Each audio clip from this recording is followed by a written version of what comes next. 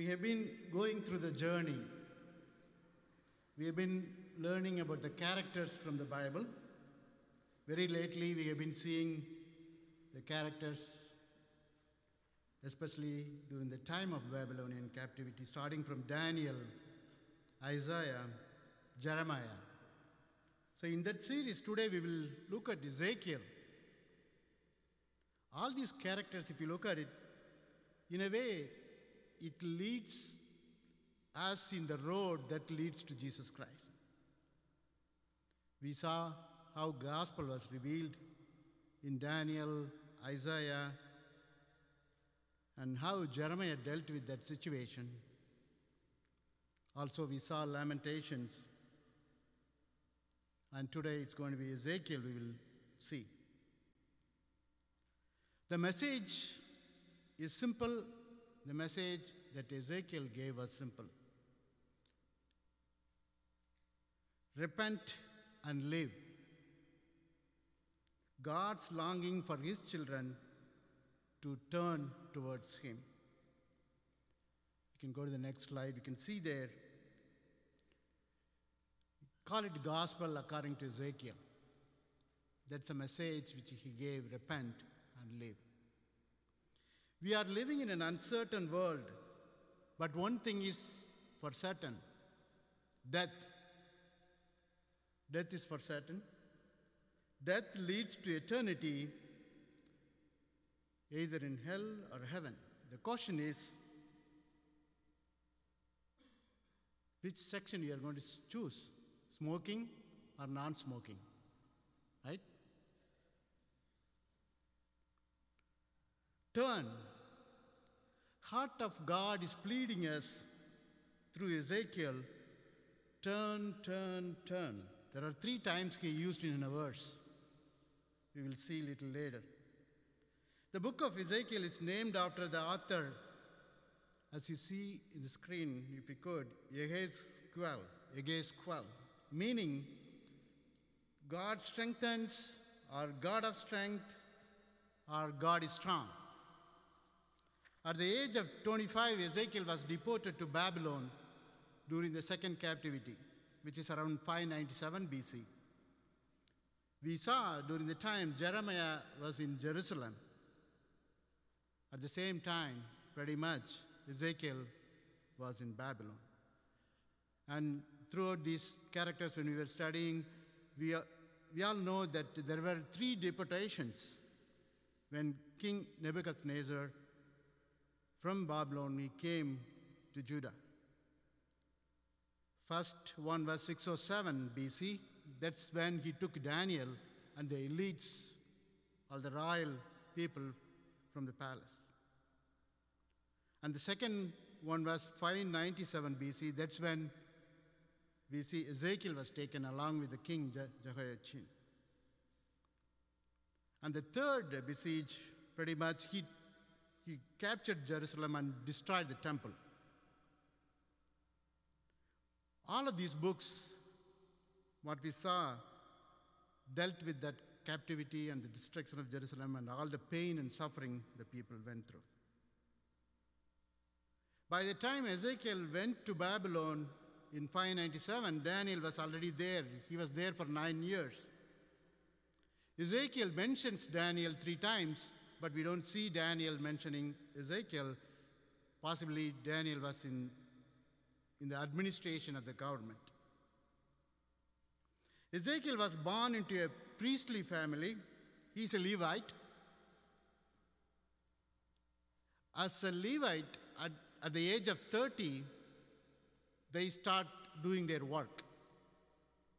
But unfortunately, this is when we see here at the age of 25, he was deported.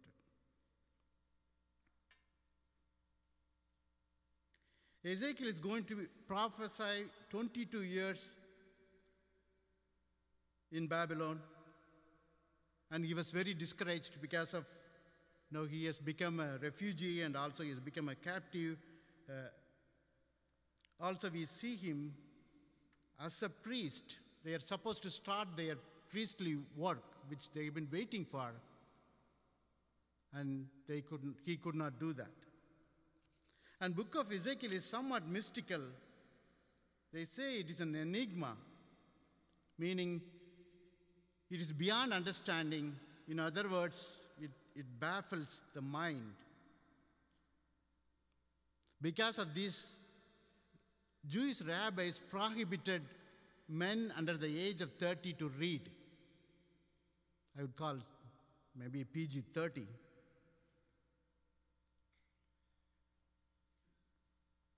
Maybe I got qualified lately to read and potentially give this message for you. Why is it baffling our mind? Let me read a few things because a lot of things are unique in Ezekiel and some of them are rarely used elsewhere. Ezekiel's bread, healing trees with leaves for medicine, UFOs are aliens. There are 14% of Americans, they still believe in UFOs, and some of these group, they quote verses from Ezekiel. What were the wheels in Ezekiel? We saw him reading during the Bible reading time. Are the wheels in Ezekiel some kind of alien spaceship, which Ezekiel saw? Or who are those angelic beings called cherubim, mentioned in 24 times? Moving vehicles, flashing lights, loud rumbling sounds, sound of the wheels, ice on the rims. Are these self driving? What are the ophanim? What are the wheels within wheels? Gyroscope. Dead bones walking. What does the valley of dry bone means? What does it mean to stand in the gap? Whirlwind, mentioned 14 times, me, related the judgment. He was tied with rope, tongue stuck in his mouth, using tablet, playing war game, embroidered clothes, jewelry, jewelries like nose rings. We don't see it elsewhere. What are Oholah? What are Oholibah? What are Gog and Magog? When will Gog and Magog attempt to destroy Israel? What, is the what are the modern nations represent Gog and Magog? And, KJV or NKJV seems to hint that Satan was involved with the music in heaven. That's the only insight we have. And Lucifer. We see some insight from Ezekiel 28 17. Your heart was proud because of your beauty. Satan is beautiful. In Ezekiel, we find Satan was created as a perfect, wise, and beautiful angel. How should Christians react to the death of evil people? Answer is in Ezekiel. Eating the scroll, message was bitter. Watchman. Who was Tammuz in the Bible? You know, Tammuz was related with spring break. It's starting tomorrow, right? Tammuz was somehow related with spring break. Tel Aviv, where is Tel Aviv in the Bible? It's in Ezekiel. And Bible says, in Ezekiel it says, God says, do not quote this verb, do not quote this proverb. And we saw in the pre-service video, Ezekiel did a lot of sign acts. A number of Ezekiel's oracles consisted of dramatic performances, some in, they call it a pantomime, mime. Some using limited props in order to act out a message. Ezekiel was involved in some kind of bizarre actions or behavior, such as lying on his side for 390 days and, you know, and, and on his right side for 40 days. And also, God appointed him as a watchman. And all his prophecies point forward to the gospel message of Jesus Christ. And we will see a little bit of the overview in, you know, in a bit. And when, when, when I say, go back to the first slide, I think we'll, yeah, we haven't gone there yet. Go back. Yeah, I, I, I, if you see here, repent and live, Rep- repent and live. And we see here in Old Testament, you know how New Testament John the Baptist started his ministry? Repent and believe. Let's bow down and pray so that God will teach us these baffling things as we go through the message today. Heavenly Father, you are God of strength. You are strong.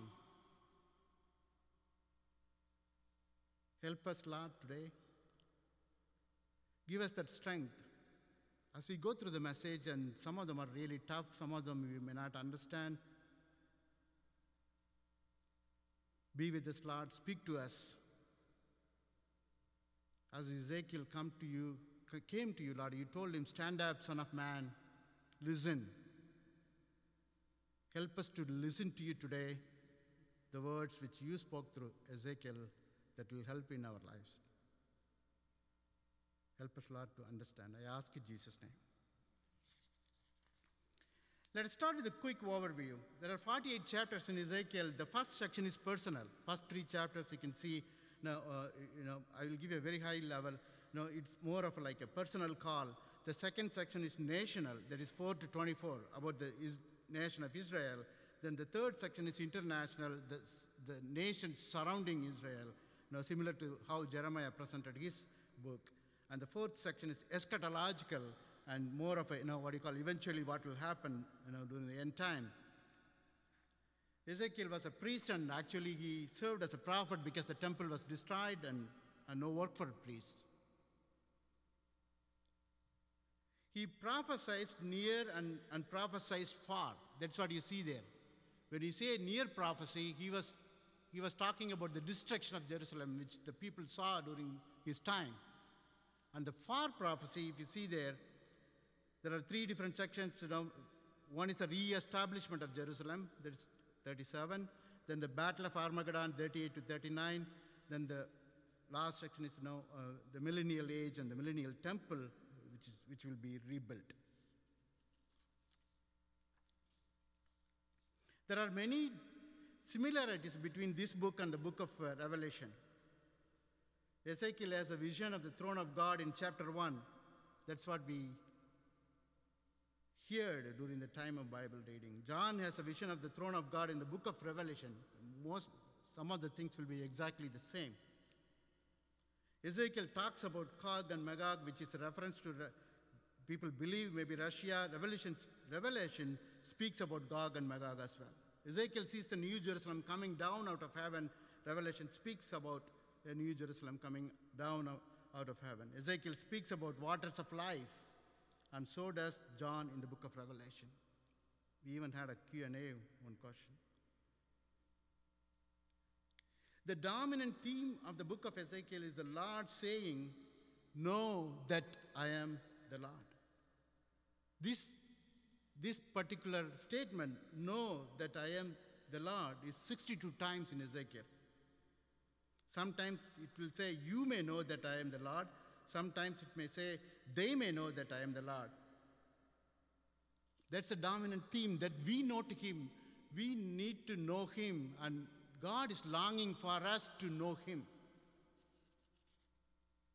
This is God's desire for people to know Him, and God will go to the great lengths to reveal Himself to us so that people will not die in their sins.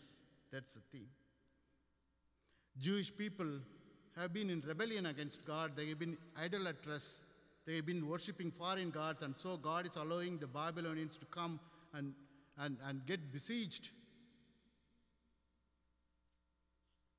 And they were in captivity for 70 years. And during that 70 years, Ezekiel was appointed as a prophet. At the same time, we saw last couple of sermons, especially Jeremiah was helping, prophesying in Judah. And uh, quickly, yeah, you can see the slide here. During the captivity, you know, the top section, it, it talks about those three, three different times they were take, they have taken captive Daniel, you know, in exile 605. Then you can see uh, 597, then also, and you can see 587, three different times. And I given them in the bottom, you can see that place where they left, that is from you know, Jerusalem to Babylon. It is around 750 miles as of today, but those time now going around the river and all those things, they say it, it may be around 1,000 miles journey. Give you the picture going back, going to Dallas and coming back is around six, what, 700 miles, right? So you can calculate like by walk to Dallas a couple of times. So let's, let's start our message from the first chapter, little bit of glimpse of what we saw during the you know, Bible reading. C.S. Lewis put this way when he talks about uh, you know, God's glory. Go to the next slide, you can see here. Nature never taught me that there exists a God of glory and of infinite majesty. I had to learn that in other ways, but nature gave the word, word, word glory a meaning for me. I still did not know where else I could have found one. For C.S. Lewis, it was the nature was speaking to him to represent God's glory.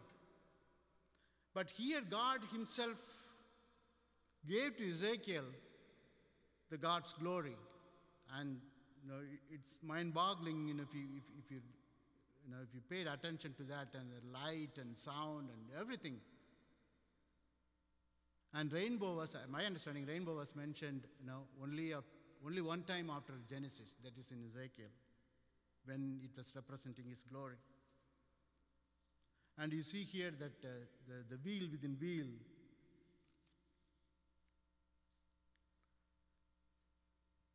And we saw know, message version of, uh, of the Bible, Ezekiel, it says like this brightness everywhere. The way the rainbow springs out of the sky on a rainy day, that's what it was like.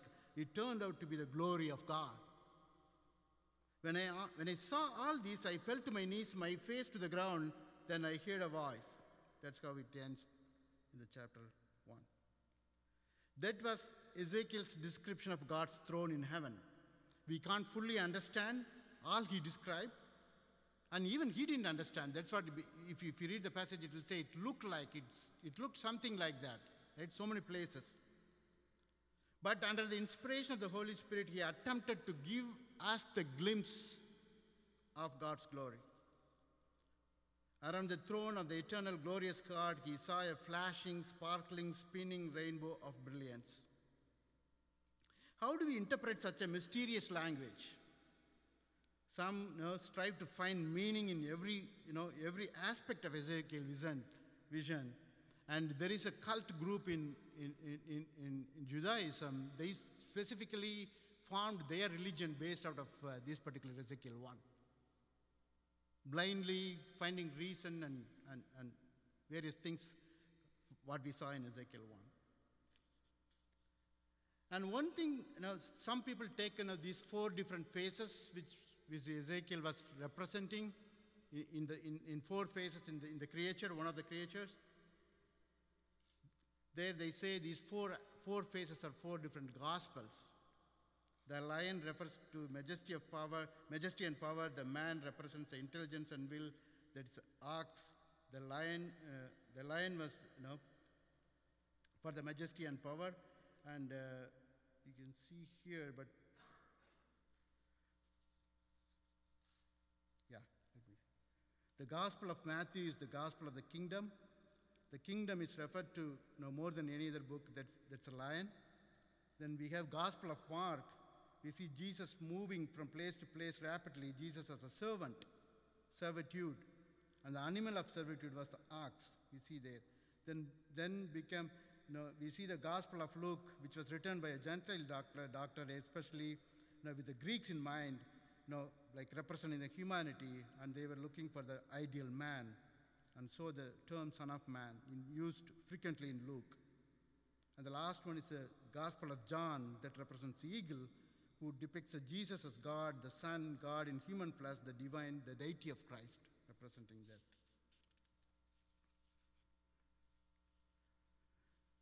So also, you know, it is very you know, impossible to interpret the specifics definitely, but we can understand that Ezekiel's aim was to put the glory of heaven on display for us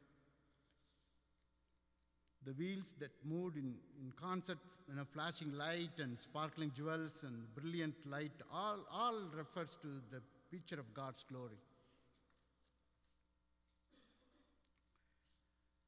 Now we'll move to now when we move to Ezekiel 2, this is how it starts. Stand up, son of man, said the voice. I want to speak with you. The Spirit came into me as he spoke. And God gives, you know, a few more things. Then finally we see here, for remember, they are rebels. He's talking about Israelites. At least they will know they have had a prophet among them. And verse 8 Son of man, listen to what I say to you. Do not join them in their rebellion. Open your mouth and eat what I give you. Then, chapter 3 The voice said to me, Son of man, eat what I am giving you, eat the scroll, then go and give its message to the people of Israel. So I opened my mouth and he fed me the scroll. Fill your stomach with this, he said, and, and when I ate it, it tasted as sweet as honey in my mouth. God gives you, you know, as you said, uh, as we, uh, you know, in the pre-service video we saw, right? Mo- most of his act was like a sign synapse, right? Even God himself leading him through all these things. And literally he's eating the scroll, which is a bitter message of judgment. And Ezekiel is saying that, you know, you know but fill your stomach, I mean, uh, God is saying, fill your stomach with this. He said, and when I ate it, tasted as sweet as honey in my mouth.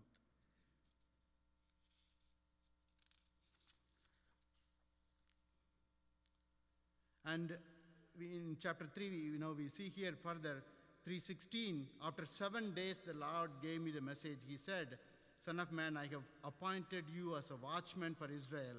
Whenever you receive a message from me, warn people immediately. And verse 18 If I warn the wicked, saying, You are under the penalty of death, but you fail to deliver the warning, they will die in their sins, and I will hold you responsible for their death. 19 If you warn them and they refuse to repent and keep on sinning, they will die in their sins, but you will have saved yourself because you obeyed me. And verse 20, very important, let's see. Verse 20, you see here. If righteous people turn away from their righteous behavior and ignore, their, ignore the obstacles I put in their way, they will die. And if you do not warn them, they will die in their sins. None of their righteous acts will be remembered, and I will hold you responsible for their deaths. It's pretty scary. God appointed him as a watchman, and he is holding him accountable. I will hold you responsible for their deaths if you don't give the message I am giving it to you to tell them. Now, verses 89 19, you can see God, what I read earlier. God basically says if you don't warn the wicked man of his wicked ways and he still stays in his wickedness, it's okay. He's, he's, he's going to die for his wickedness. But the thing is, but I am going to hold you responsible for not warning them. As you see, Ezekiel was not responsible for the righteousness of the wickedness of the people, but Ezekiel was just responsible for his own relationship with God to do what God told him to do. Talking of uh, responsibility, it's common for us to say, right, the sin is not my problem because I did sin because of something else. And there are two, you know, first one, you know, first one you see here, every person is accountable to God for his own life. That's what we read in Ezekiel 3, you know, 18, 19, and 20, we saw that. Romans 14, 12 says this, so then each of us will give an account of ourselves to God. God wants every single one of us to take responsibility for our own sin. But we have a good news that He has provided a way through Jesus for us. He wants us to take responsibility for it by confessing our sins and then receive from Him the free gift of salvation through faith in Jesus Christ, our Lord. Because Romans 6:23 says, For the wages of sin is death, but the gift of God is eternal life in Christ Jesus our Lord. In this, Ezekiel was just a messenger. But we are living in the time of grace. Jesus took our punishment, paid in full. And another good news is that you know, no one is responsible for the sins of his parents. A lot of people who believe that they are destined to repeat the sins of their parents are, the very least, they think they are defined by the sins of their parents.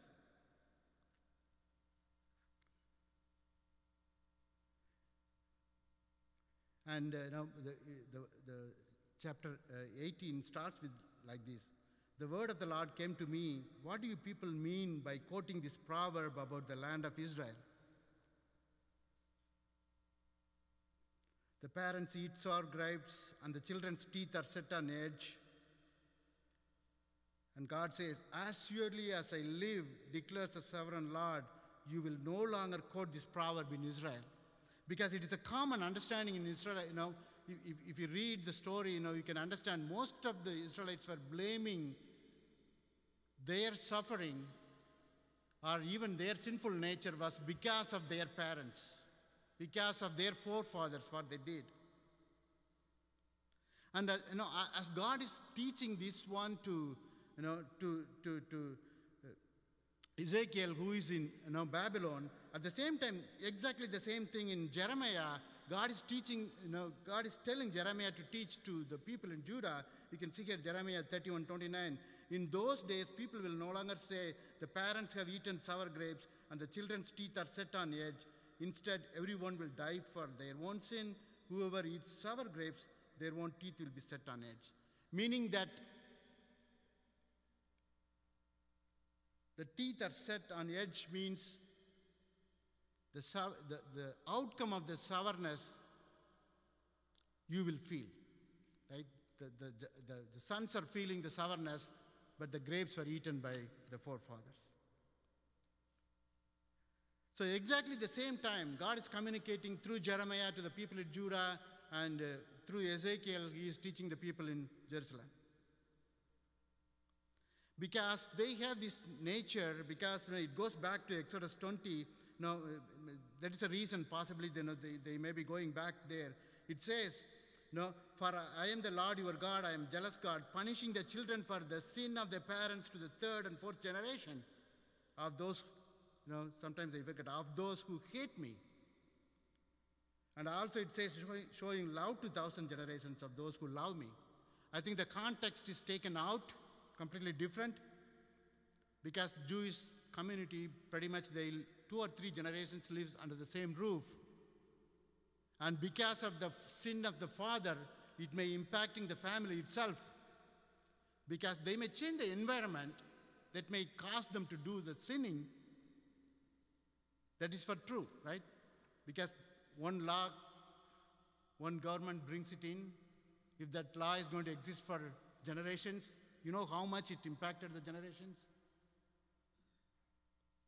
But no, even, even Deuteronomy no, clearly calls it out. Deuteronomy 24 16.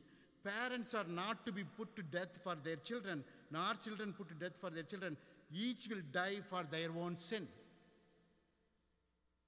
Meaning, there is no generational curses, generational sins. You are responsible for your sin. Moses himself made it very clear.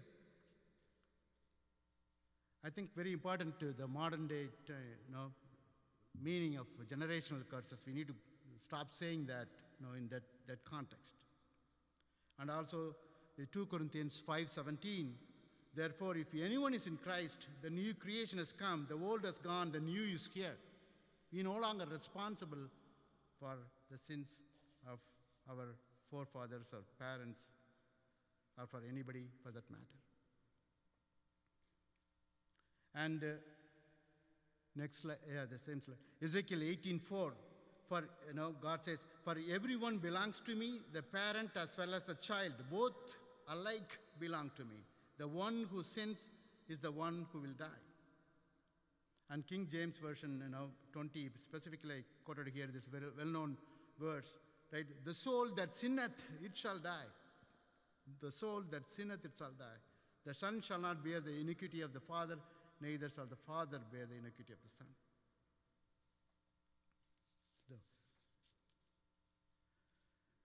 So also, you know, if, you look at it, I think you know, the, Ezekiel 18, verse 5 to 5 to 19, you know, God, that's a very elaborate. You know, the, if you read it, you know, it says about the sins of the father, one man. Then it talks about the, you know, he, he you know, you know, you have a righteous father, the, the one on the top, the righteous father. He does all good things. He didn't do a lot of sins. The Bible lists all those sins. And then it will tell he has got a son. That son is an evil son. He does all this evil. Then, and then Ezekiel puts the next one, is his grandson. He's, you know, he is, you know, he, he is not like his father. So all these three sequences are mentioned. And, you know, you have a righteous father, you have a you know, unrighteous son, and a righteous grandson. All these three, three things are listed in, if you look at 18, 5 to 19 verses. And it clearly called out who will be punished, who will not be. I think for us, the second birth is greater than the first. The spiritual birth is more dominant than the physical birth in Christ. The power of our spiritual heritage is greater than the influence of our natural parentage. Ezekiel wants us to know is that sinners need to be concerned about one thing, and that is death. Because this chapter is a warning from God to every sinner of the impending reality of eternal death. That's what in one, sec- in one sentence it calls the soul that sinneth dies. Not just physically, spiritually, and eternally.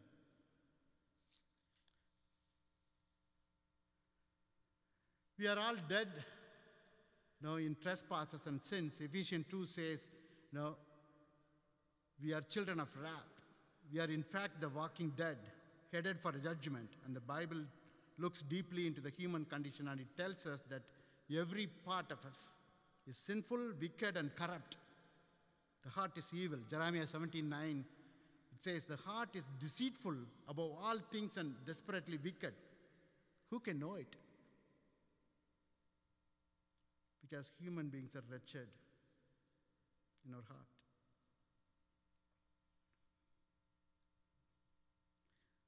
I think that's why it's very important, you know, as you hear the message from most of the churches, death part mostly not spoken. That's the reason I think the sinners are defensive about their goodness also, right? They try to blame, they try to play the blame, blame game. You know, blame it on the parents and blame it on, on, on the government, blame it on the party. It all happened, you know, even in, even in, in the Garden of Eden. You know, Genesis 3.12, what did Adam say when God asked him, why did he eat the fruit? What, whom did he blame? Whom did Adam blame? Blame? Eve or God? God, right? It was a woman you gave me who gave me the fruit and I ate it, right?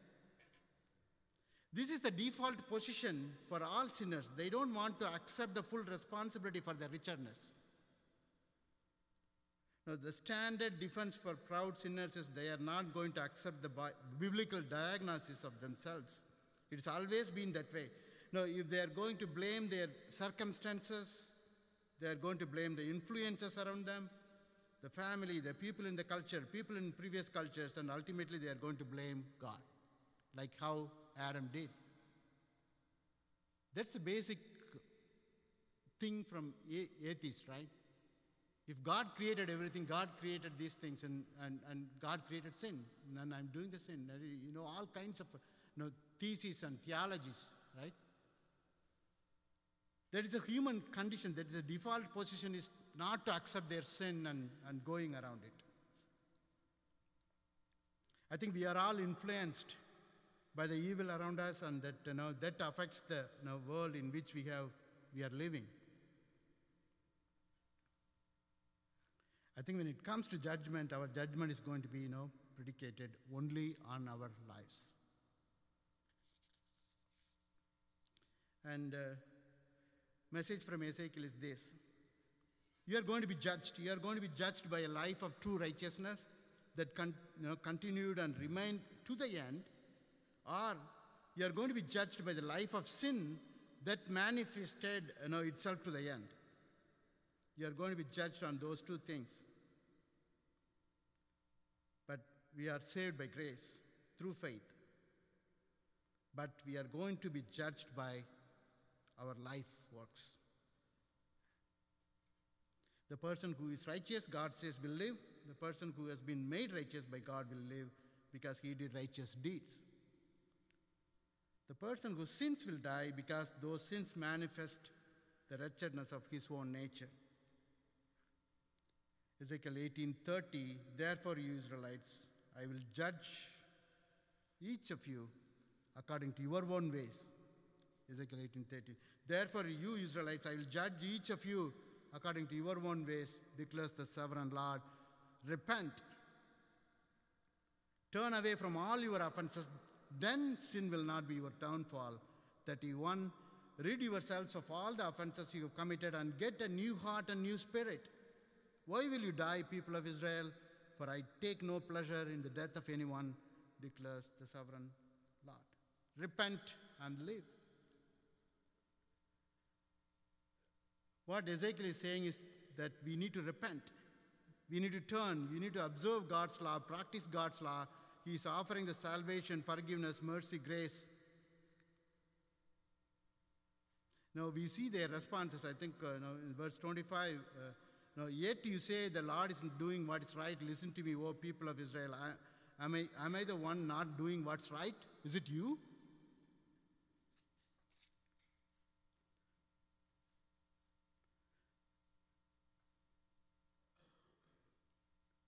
Also, we see God doesn't have any pleasure in the death of the wicked. He has pleasure in the death of the saints. I mean, we see that in Psalm 116, 15.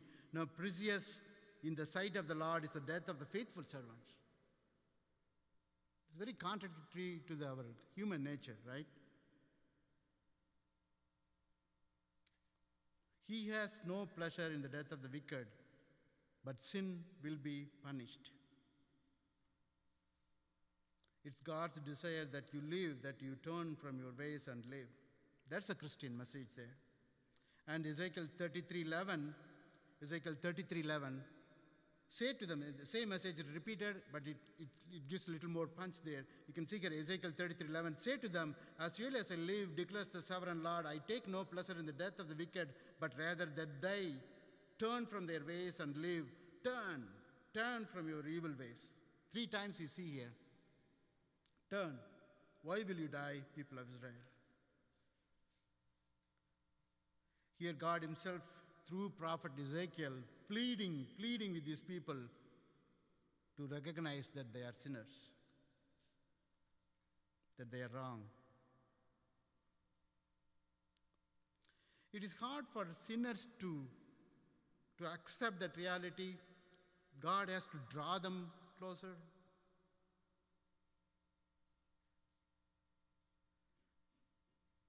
I think you know, just coming to Him and to submit themselves, and God does the rest of the part. That is what you can see here, and uh, you know, that the verse 31.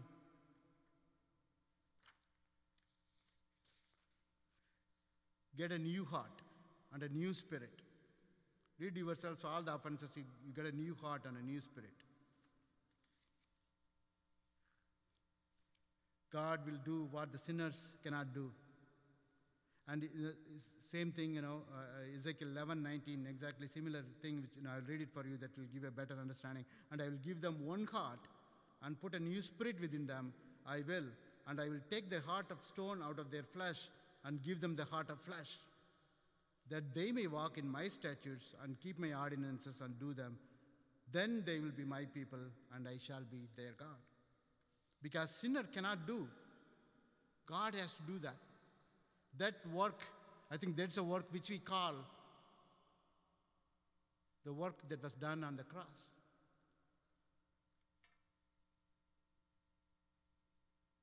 Because of what God has done in the cross, that we have that privilege to submit ourselves to Him so that we get a new heart and He seals us with a new spirit. And in a beautiful language in Ezekiel 36, you know, uh, I'll read it for you, Ezekiel 36, 25. I will sprinkle clean water on you, and you will be clean. I will cleanse you from all your impurities and from all your idols. I will give you a new heart. Once again, here, right? I will give you a new heart and put a new spirit in you. I will remove from you your heart of stone and give you heart of flesh. Again, here. And I will put my spirit in you and, and move you to follow my decrees and be careful. No, that's important. And be careful to keep my laws. I think the sinner is driven to the end of himself and has no power to do what he is commanded to do. It is at that point, in the sinner's favor and in the sinner's relief, that God steps in and does what the sinner can never do. Come to me, repent, and live. This is the gospel message that we must now preach to everyone. That is what Ezekiel was asked to do, and God was holding him accountable. And uh, 2 Peter 3 9, the Lord is not slow in keeping his promises, as some understand slowness. Instead, he is patient with you, not wanting anyone to perish, but everyone to come to repentance. The next slide, uh, know, our, uh, you see here, C.S. Lewis puts it this way Our desire is not only to see glory, we started with the glory of God. It's not just to have the glimpse of glory, not to read the glimpse of glory, but to participate in the glory we see. To participate in the glory we see. I think if you are not a believer today, we need that protection from the judgment that will be death, eternal death. Repent of your sin, accept the righteous, accept the righteous Savior who has taken on his your punishment of your sin. And if you are a believer, a Christian is not a man who never goes wrong, but a man who is enabled to, to repent. It's once again C.S. Lewis. I like this quote. You know, a Christian is not a man who never goes wrong, but a man who is enabled to repent. Repent. I think we know even after we walk in the Lord after salvation, but sin tempts us, right? Jude 24 To him who is able to keep you from stumbling and to present you before his glorious presence. Once again, here, then a glorious presence without fault and with great joy. God will help us to keep us from stumbling, to present ourselves before his glorious presence. That glorious presence we got a glimpse earlier. I think uh, once again, I just wanted to close this with the, you know, Ezekiel 11 19. I will give them an undivided heart and put a new spirit in them. I will remove from them their heart of stone and give them a heart of flesh. Then they will follow my decrees and be careful to keep my laws. They will be my people and I will be their God. And uh, as Ezekiel was reaching out to the Lord, when, when, you know, when God talked to him, he asked him to stand up and listen. As we close this service, I would like all of you to stand up and how God spoke to Ezekiel, ask him to give his message to you personally. What it means to you to repent, whether either you are a believer or not a believer. Please stand up and ask God to speak to you. You will repent and you will live when you believe Him. Heavenly Father, thank you, Lord. 2,500 years ago, you spoke to Ezekiel, asked him to stand up, and asked him to listen, and you spoke to him. You appointed him as a watchman. and you gave the message to him to give the message to his people. I pray, Lord, at this time we all stand before you to listen to you. Speak to us, Lord. Speak to each and every one of us here today so that we will repent of our sins. Help us, Lord, to believe you so that we will live a life to see the glimpse of your throne, the wonderful glory that we will be able to participate in one day. We submit at your feet, at your throne. Help us, Lord, to come to you, completely surrendering ourselves to you. Bless each and every one of us here. Take care of us, Lord. I ask in Jesus' name. Amen. Now I will close it with the benediction. May the Lord bless you and protect you. May the Lord smile on you and be gracious to you. May the Lord show you his favor and give you his peace. Go in peace.